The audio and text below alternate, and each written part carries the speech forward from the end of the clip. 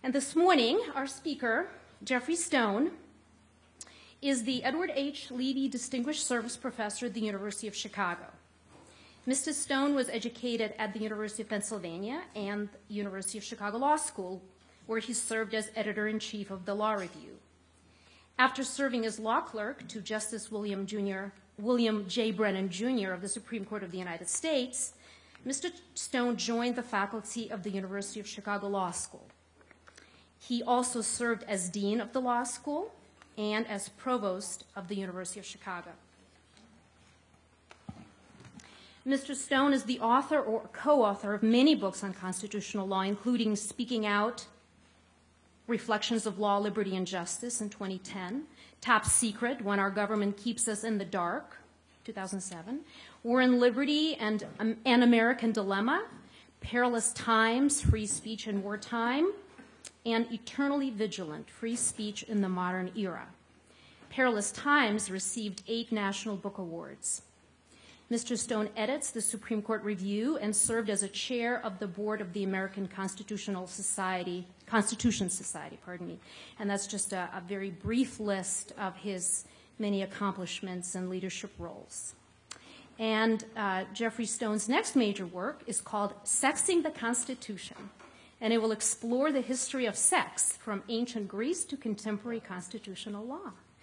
Should be a great read. and today he will speak on the Roberts Court and the Constitution. Professor Stone, welcome.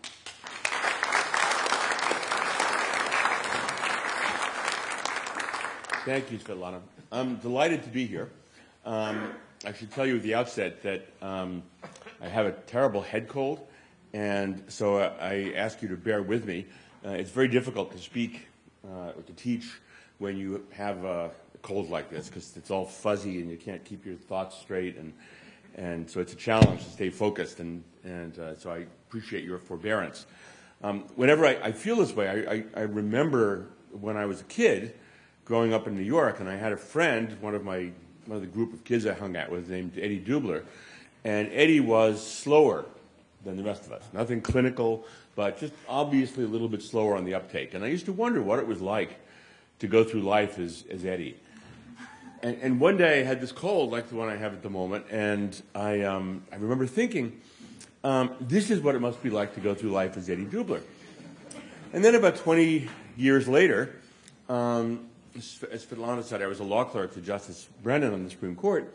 Um, I was having lunch one day with the justice, and he had this terrible cold. And he was coughing and sneezing, and I was feeling sorry for him. And it occurred to me that uh, he must be sitting there thinking, oh, this is what it must be like to go through life as Geoff Stone. so what goes around comes around. So what I want to talk about today is constitutional interpretation and the Roberts Court. And um, I know that most of you are not lawyers, so I will try to be clear and not use too much uh, unexplained jargon. Uh, let me begin by saying that in, in defining the appropriate stance towards interpreting the Constitution, a fundamental question is how much deference or how much aggressiveness a court should use in applying and interpreting provisions of the Constitution in the face of decisions by the democratically elect- elected branches of government that are being questioned. So, for example, the First Amendment to the Constitution provides that Congress shall make no law abridging the freedom of speech. What does that mean? Right? Uh, Oliver Wendell Holmes gave the famous example of a false cry of fire in a crowded theater to prove that it didn't mean what it said. Obviously, the government can punish someone who falsely cries fire in a crowded theater, causing a mad dash to the exits and the trampling of individuals. So the question then is, well, what then does it mean to say Congress shall make no law abridging the freedom of speech? It can't mean what it literally seems to mean. Someone's got to give content to that.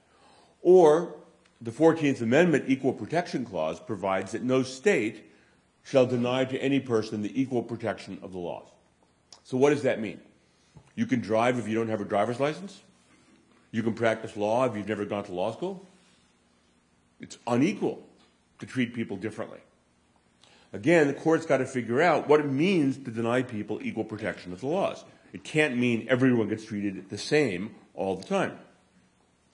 So the challenge in making sense of these open-ended provisions of the Constitution, which are most of the provisions that are of interest, um, is to figure out how passive or how active a court should be in interpreting and applying those provisions in the face of a claim by the elected branches of government, what we're doing is constitutional.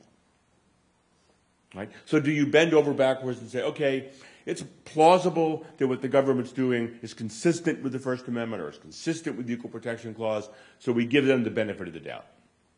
Or do you say, no, we, we can't give you the benefit of the doubt. We think you have violated equal protection, or we think you have violated freedom of speech, and it's going to be unconstitutional, even though you disagree with us. So that's a central question. How do you know how much deference or how much activism to employ? So historically, there are two models, simplistically.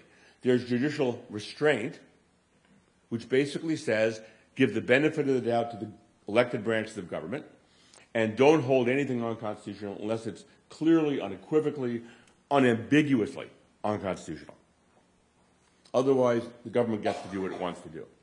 The other approach is judicial activism, under which courts basically say, no, we get to interpret the Constitution, we decide what those terms mean, and we impose upon you, the elected branches of government, a very high burden of justifying what we think would be a violation of the Constitution.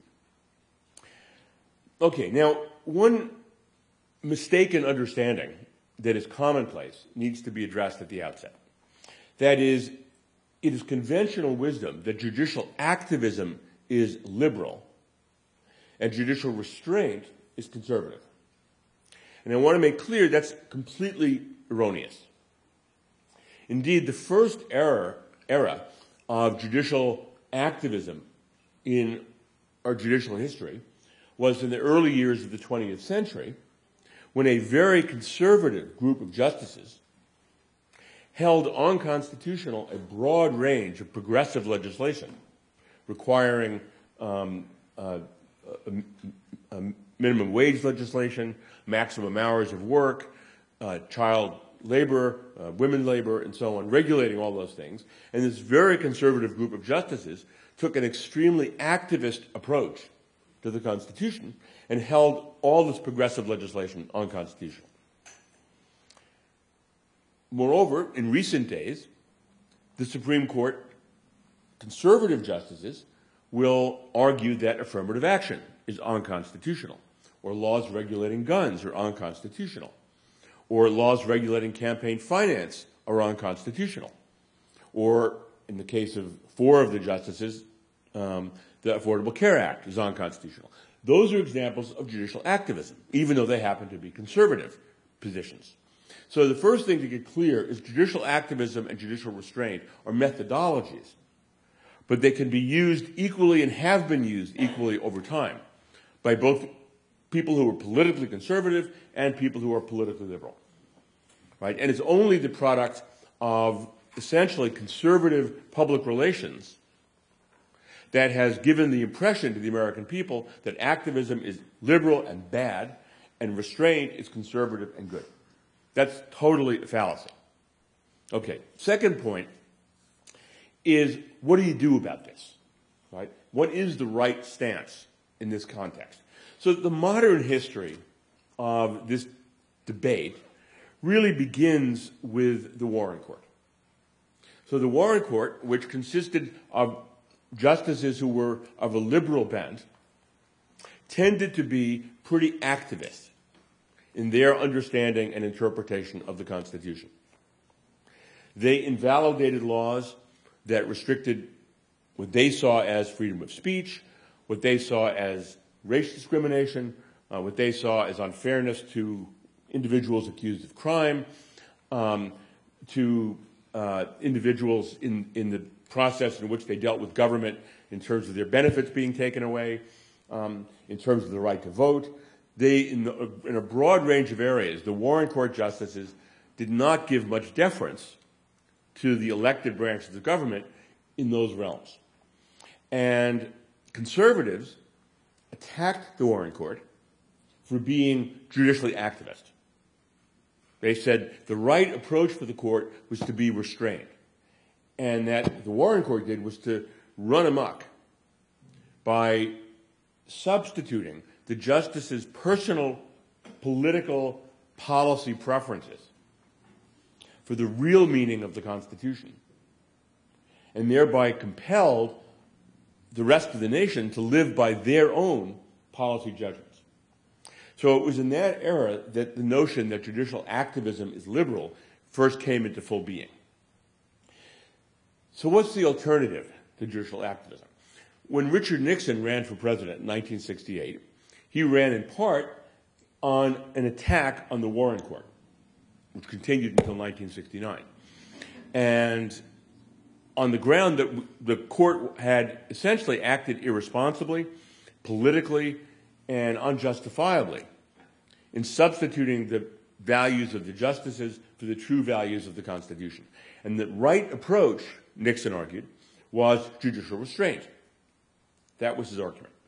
So judicial restraint meant, as I said earlier, essentially that the proper role for justices is simply to sit back and allow the elected branches of government, state legislatures, federal Congress, and so on, to do pretty much what they wanted, unless you could say beyond a reasonable doubt, unquestionably, the law is unconstitutional, given some clear objective meaning.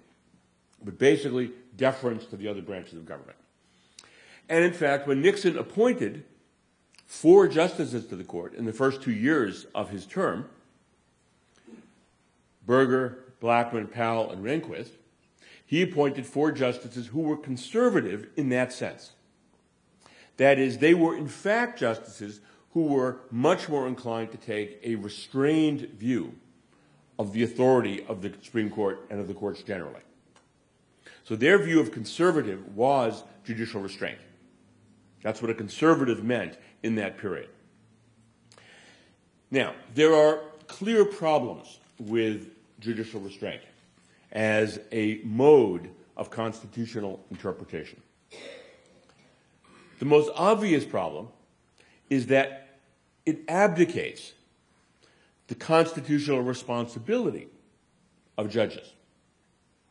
When the Constitution was created, the framers of the Constitution were very concerned about abuse of majoritarian power. They were very concerned about circumstances where majorities, who generally would make the decisions in, in our democracy, might make those decisions really badly. And they knew, human nature being what it is, that there are circumstances where majorities will act out of intolerance, out of prejudice, out of fear, out of panic, um, and that's bad. And the question was how to, how to guard against that danger of democracy. And one of the ways they did that is, of course, by separation of powers, right? By dividing power between the House and the Senate and the President and having the House members elected for two years and the Senate members elected for six years and the President elected for four years, all of which was designed to try to prevent any moment's majority from being able to dominate the process. But even so, they were concerned. And so one question that arose at the time the Constitution was adopted was whether to put specific, concrete limitations on what majorities can do. That is, a Bill of Rights. Now, in the original Constitutional Convention, in 1787, the framers decided not to include a Bill of Rights in the Constitution. They decided that for several reasons, but one of the most important ones was their view that it would serve no purpose. That ultimately, even if you listed a bunch of rights, that the majority would just disregard it. They would just do what they wanted to do anyway, and they would say they were acting in accord with whatever the Bill of Rights meant and it would serve no purpose, but listing the rights might then bring the government into disrepute in ways that wouldn't be healthy. Also, they, they basically said that you don't need a Bill of Rights. Some of the framers said you don't need a Bill of Rights. A Bill of Rights is critical when you have a monarch, when you have a king. And these are rights of the people against the king. But once you have a democracy, there is no king. So why do you need a Bill of Rights? To protect us against whom? To protect us against us? And the answer to that, of course, was yes. We don't trust us. Right? So, but the, but the, the, but the primary reason was this notion of it would be pointless. Right? After the, the Constitution was presented for ratification, uh, many people objected to the absence of the Bill of Rights. And the, the debate then ensued about, well, should we put a Bill of Rights in the Constitution as a set of amendments? And if so, uh, would they have any real effect? And there's a wonderful exchange between James Madison, who was the, the, the primary draftsman of, of the Constitution and, and, of the Bill of Rights, and Thomas Jefferson, who was then serving as an ambassador to France. and when Jefferson saw the draft of the original Constitution, he wrote Madison and says, Love it, it's cool, but where's the Bill of Rights? What are you guys thinking? And Madison wrote back and said, Well, you know, we thought about this, and, but the truth is we thought these would just be um, parchment barriers, his words, parchment barriers that would be overridden by the whim of the majority and it would serve no purpose. And Jefferson wrote back and said, What about courts? Right? Independent tribunals of justice, right? Appointed with life tenure, responsible to upholding the guarantees of the Constitution and the Bill of Rights, right? Can serve, excuse me, can serve as an effective check on majorities. And Madison was persuaded by this, and, and, when he eventually presented the Bill of Rights to the, to the first Congress, uh, the, the, argument was made that, that it is these courts, these judges, who will be held to account for the function of enforcing these guarantees against majorities. And that was the key argument that was made. And so, right from the beginning, it was understood that we need courts to play a meaningful, engaged role in enforcing constitutional guarantees against majorities. So the problem with judicial restraint across the boards is that it abdicates that fundamental responsibility that courts are supposed to have. And therefore would allow the democratically elected branches of government to do things that they shouldn't be able to do, that the framers didn't want them to do, that they expected the courts to stop them from doing, but the courts would be saying, we wash our hands of this, we're not going to do it, and that would be dysfunctional.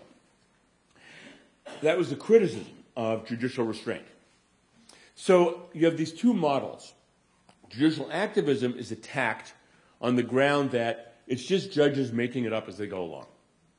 They pick and choose what they want. They impute their own personal preferences into the vague, open-ended provisions of the Constitution, make no law abridging freedom of speech, deny equal protection of the laws, and so on. They say that's what these things mean, but what they're really doing is just smuggling their own views into the Constitution. That's illegitimate.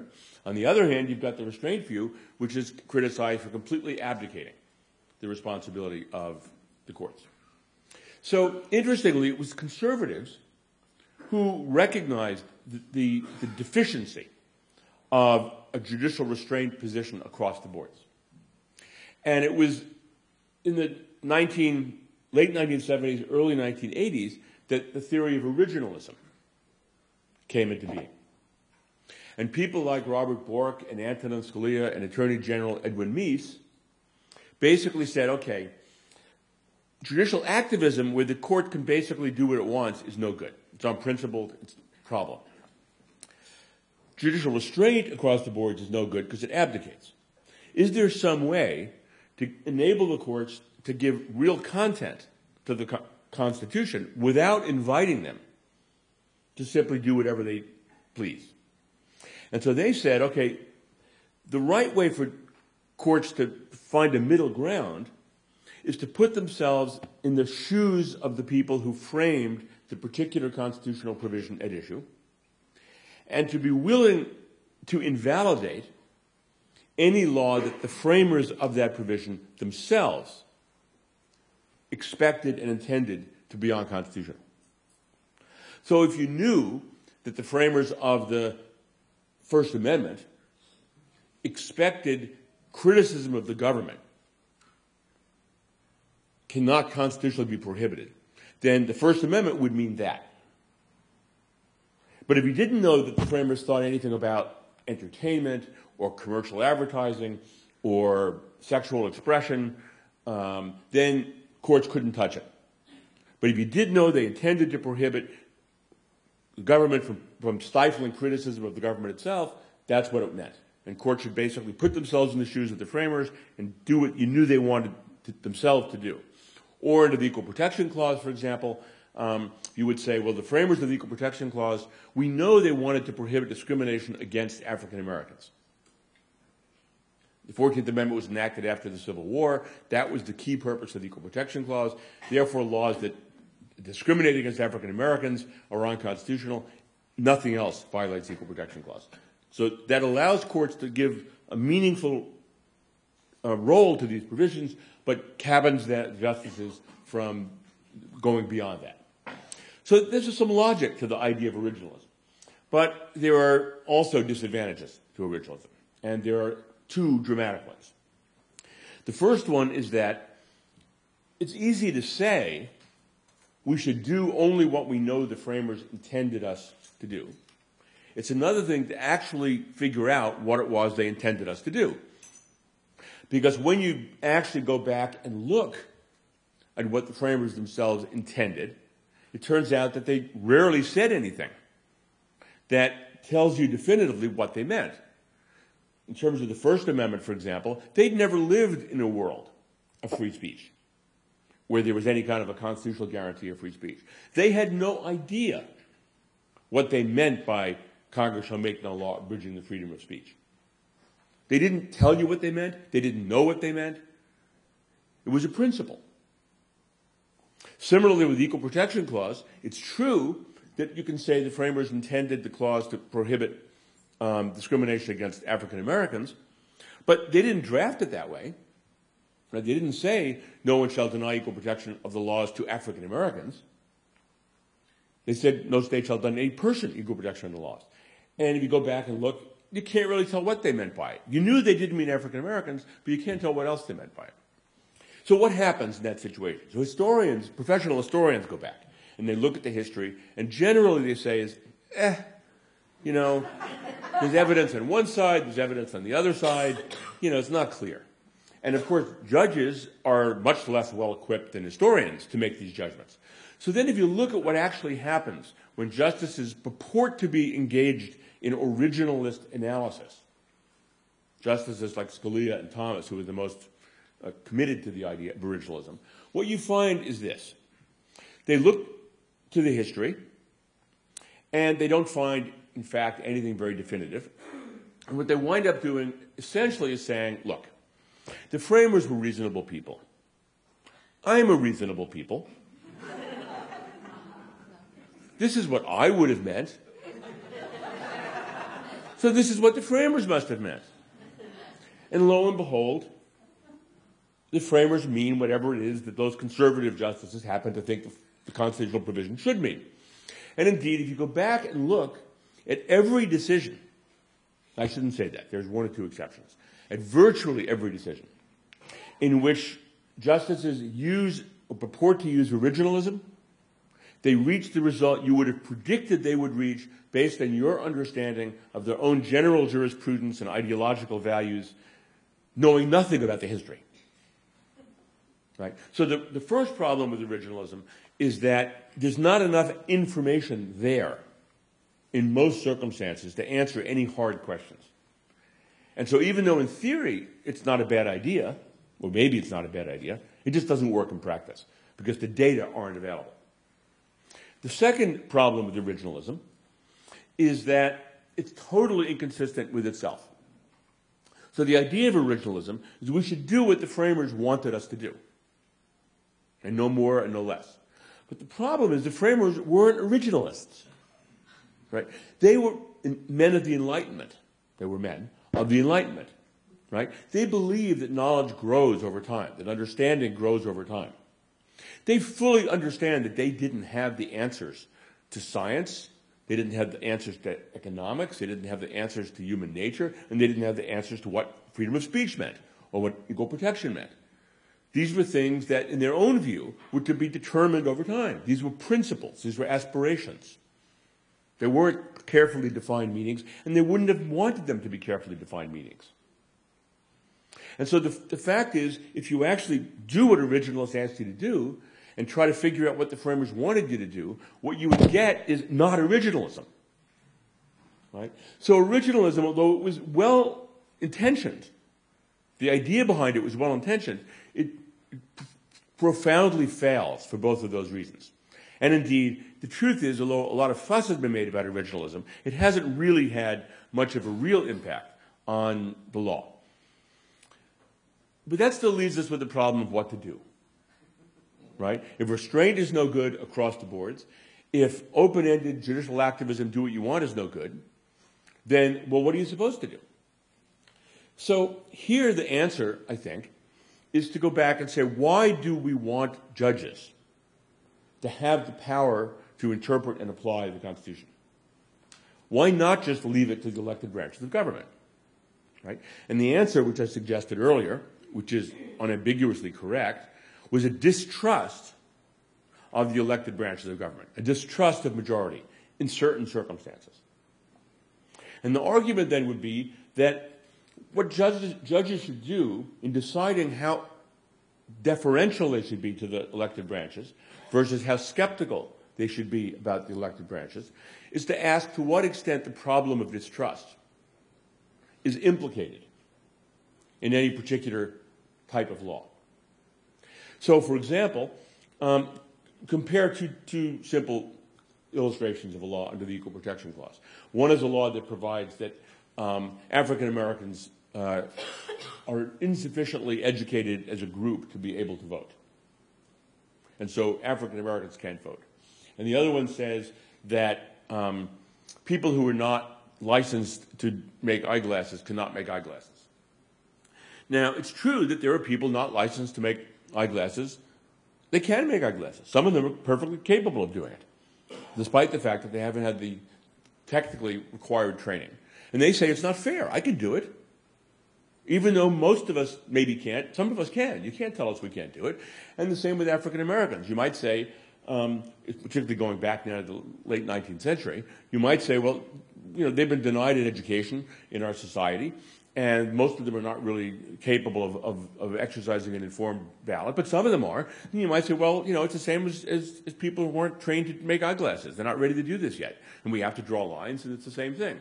But the difference is that in the optometrist licensed case, we have no reason to distrust the legislative judgment. Sure, it's a generalization, but there's no reason to believe that the legislator is, is acting out of anything other than rational, legitimate public interest. In the race case, however, there's plenty of reason to believe that the government's acting out of intolerance and prejudice and bias and using this as a justification for what amounts to essentially an illegitimate exercise of, of preventing people from exercising their individual rights. So one could say it's appropriate for the government to say, we'll give deference in the eyeglass case. Government says they got a good justification for it. Fine, who are we to second guess it? In the, in the in the disenfranchisement of African Americans case, you say, no, you can't do that. Or think of a law that says African Americans can't make eyeglasses. Right? Uh, same thing. You say, no, you can't do that. Right? So, or in the speech context, imagine a law that says you can't criticize the government.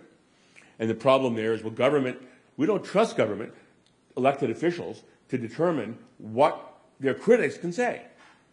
Right? If you give them the power to do that, you know they're going to abuse it you know they're going to use that power to silence their critics, so that, as to perpetuate their own power. You can't give deference there. On the other hand, if they pass a law that says um, no smoking ads um, are allowed in, uh, on children's television, um, you might say, well, there's no reason to be suspicious here of any fundamental dysfunction in the way the government's operating. So if the government can come up with a rational justification for that, which obviously they can, you let them do it. Okay, so what that basically says is the way to make this decision about judicial activism and judicial restraint is by figuring out when it makes sense to distrust. And as far back as 1938, in a very famous footnote, the Supreme Court came up with a theory for when that distrust exists. It identified essentially two situations. One is when the law is disadvantaging a minority or some other group that historically has not been adequately represented in the political process, has been subjected in the past to unfair disadvantage, and where there's therefore reason to believe that they're not going to get a fair shake systematically in the elected governing process. That's a case where distrust of the majority is, is present. And the second situation, they said, um, is where the government is essentially subject to the, the problem of capture. That is, one danger in a democratic society is any moment's majority will change the rules of the political process so as to ensure their own perpetuation in power. That's a fundamental danger of democracy. Right? So that's another situation of distrust. When government passes rules that regulate, in some general sense, the political process, got to be suspicious. And you don't be deferential there. You say, you better prove to us that what you're doing is really important or otherwise we're not going to let you play that game. Now, if you accept those as two good circumstances where distrust is appropriate, that explains the Warren Court. Every decision of the Warren Court that has been attacked as activist by its generally conservative critics fits into those two categories. They are completely about protecting African Americans, protecting political dissenters, religious minorities, uh, individuals accused of crime on the one hand, that is, those groups who are historically subject to disadvantage and need protection from the majoritarian process, which is generally unsympathetic to them, or they fall into those situations where the risk of capture is present. One person, one vote, uh, right to vote, freedom to criticize the government, um, and the like. So the entire Warren Court enterprise really is just an application of the 1938 footnote in a case called Carolene Products that says we will be activists in these two circumstances where the risk of government dysfunction is fairly high. And other than that, the Warren Court was generally quite restrained. So one can answer the attack on the Warren Court by saying, by arguing, that it was not just the justices picking and choosing what values or political preferences they liked. They were actually acting out of a coherent, indeed, I would say fairly persuasive understanding of what is the fundamental role of the court in a democratic system. That is, it's to correct majoritarian dysfunction. Now, let's take a look at, at the conservative justices um, in recent years and see how they apply the power of constitutional interpretation. So they basically put forth two theories. One theory is originalism, and the other theory is judicial restraint. That is, as, Chief Justice Roberts said in his confirmation hearings, I'm just an umpire. I just call balls and strikes. I'm neutral. You know, I just call them as I see them. Uh, there's no no involvement of my personal predilections or, or otherwise. So does, does the, the, jurisprudence of the, of the conservative justices today, um, in fact, reflect that kind of approach? And the answer is emphatically no. So this court has been as activist as the Warren Court. That is, it has struck down as many laws and as high as a percentage of the laws in the cases that come before it as the Warren Court did. But the question then is, okay, what are the cases in which they do that? So the best way to evaluate a court is not to sort of look at each case, case by case, and see what you think about it. It's to step back and to do what I did a moment ago with the Warren Court and say, let's just lay all the cases out there and see if we can figure out what was really going on in these opinions. What was really driving the court? Well, if one does that with the Roberts, with the Rehnquist and Roberts courts, let's say, what one discovers is that the court has been quite activist, but the cases in which it has been activist cannot be explained on any principled ground. That is, I've, I've had this conversation with many of my conservative friends, and I've said to them, okay, here's a list of the, of, of the Rehnquist and Roberts Court's opinions in which they have invalidated laws and upheld laws. Right? Explain to me in a principled way what's going on. And they never get back to me. Because it can't be explained by judicial restraint because they're often very activist. And it can't be explained by originalism because they, they, they play with originalism in occasional cases, but very rarely. So then he went out to say, what, what's happening there? So here are the areas in which the, the, the Roberts Court has been activist. Okay, and I rattled off most of them earlier. So they've held unconstitutional laws that regulate the wealthy and corporations in their use of money in the political process. They have held unconstitutional laws that regulate guns. They've held unconstitutional laws that regulate commercial advertising by corporations and businesses.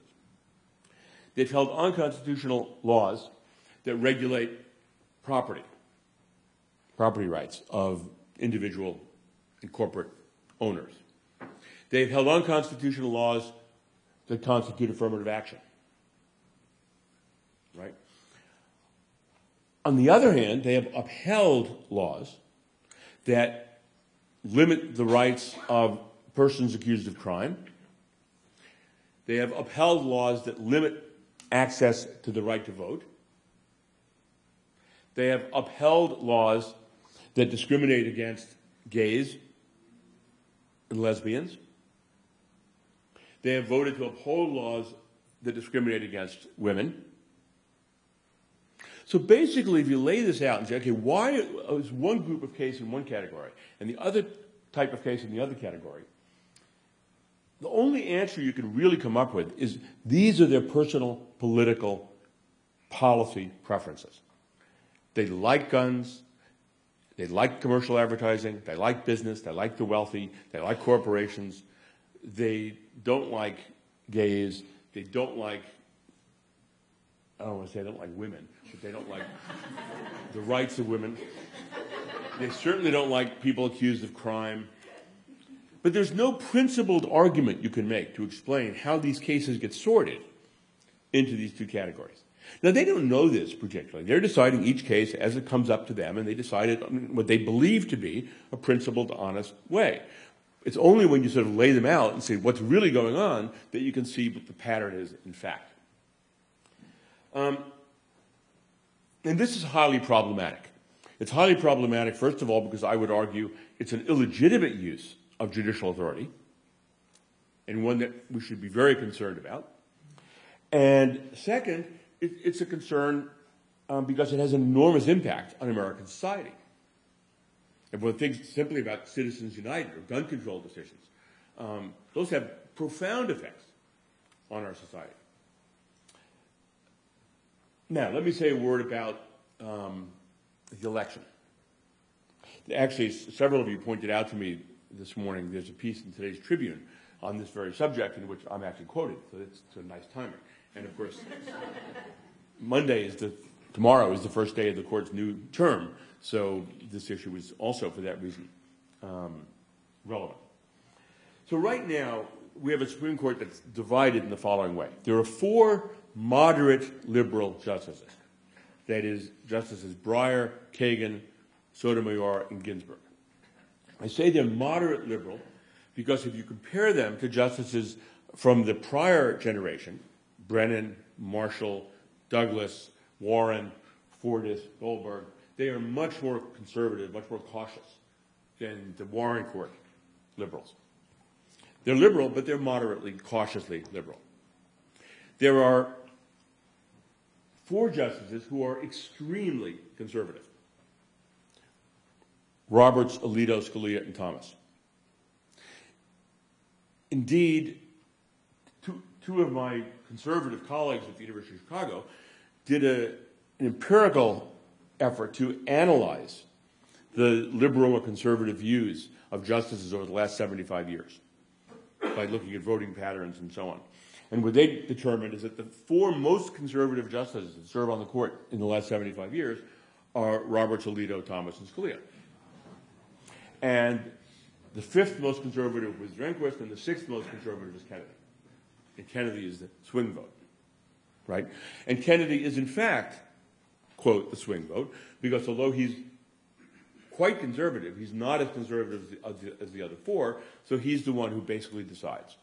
And it turns out, this is some, some analysis I recently did, Kennedy, on, on important cases, Kennedy votes with the very conservative justices two thirds of the time, and with the moderate liberals one third of the time. which means the court is predominantly quite conservative, and when it's conservative, it's often very conservative. Um, okay, so it's divided though. So what happens now with the outcome of the 2012 presidential election? Well, first of all, nothing may happen. It's possible that four years will pass and no justice will leave the court, in which case there are no, no consequences. But it's also possible, since many of them are in their 70s and 80s, that um, one or more of them may die or resign, retire. And the two most likely, just age wise, are Ginsburg on the left and Scalia on the far right. So we can ask ourselves what would happen if one of those two justices were to leave, or either to leave, and they were replaced by uh, the either Romney or Obama. So if, if Ginsburg were to die and Obama is president, nothing would change. He would appoint someone else more or less like Ginsburg. The world wouldn't change. Similarly, if Scalia were to leave the court and Romney would replace Scalia, nothing much would change. He would appoint someone more or less on the conservative side. So the interesting question is what happens if Ginsburg were to leave the court and Romney is president, or if Scalia were to leave the court and Obama was president? Presumably, Obama would appoint someone like, say, Kagan, his last appointment, a moderate liberal, and Romney would appoint someone like the last conservative appointment, Samuel Alito, Alito who would basically change the course dramatically. So what happens then is you get a significant shift. You then have, if Obama's elected and Scalia leaves the court and Obama gets to replace Scalia, you'd have five moderate liberals on the court. Profound change in the direction of the Supreme Court. If Ginsburg were to leave the court and Romney were elected, and he would appoint someone like Alito, then the swing vote would become Thomas.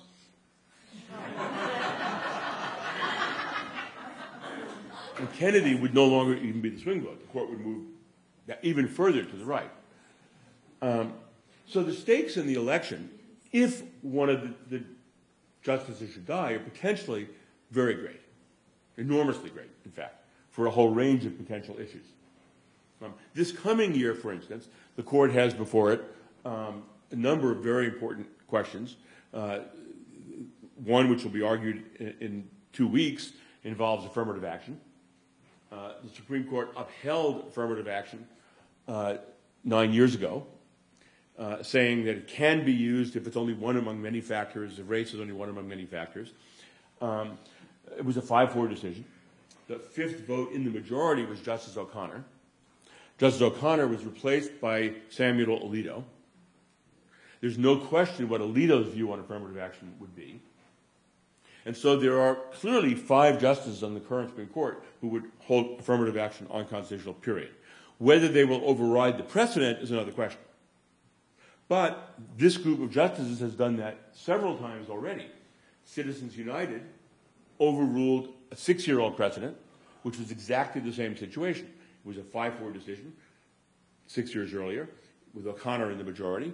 Alito replaced O'Connor. They overruled the prior decision in Citizens United. In another case involving uh, abortion, the exact same thing happened. Uh, with respect to um, late term abortion, the court in the 5 4 decision held unconstitutional a law prohibiting late term abortion. O'Connor was the fifth vote. She leaves, she's replaced by Alito, and the court five years later reaches the opposite result. Um, so it's perfectly possible that the court will hold affirmative action per se unconstitutional. Um, there's also the Voting Rights Act case that's pending. Voting rights was enacted in 1965 um, to ensure that southern states, which had obviously been involved for many generations in discrimination against African Americans in voting, um, could not continue to do so uh, in subtle ways. And so the Voting Rights Act required states, southern states that had a long history of discrimination against African Americans in voting to get approval by the Department of Justice of any changes they made to their voting practices before they went into effect. And the Supreme Court has repeatedly upheld the constitutionality of the Voting Rights Act. The Supreme Court is likely to hear that case again this time, the argument being it's, it's time to let it go. Even if it was constitutional in the past, it's, it's almost 60 years old, and we no longer should have the, the Voting Rights Act, and there's a very good possibility that the five justices in the majority would invalidate that legislation today. And of course, the issue of same-sex marriage is one that uh, is likely to get to the court this year, um, either in the form of the Defense of Marriage Act or in the, the, the, the, issue of, gay, of same-sex marriage itself out of California. Um, so the stakes are very high. They continue to be high, both in terms of um, social issues and uh, individual rights issues. And the differences between these two types of justices are dramatic. Okay, let me stop at that point and uh, turn it over back to Svetlana. Thank you.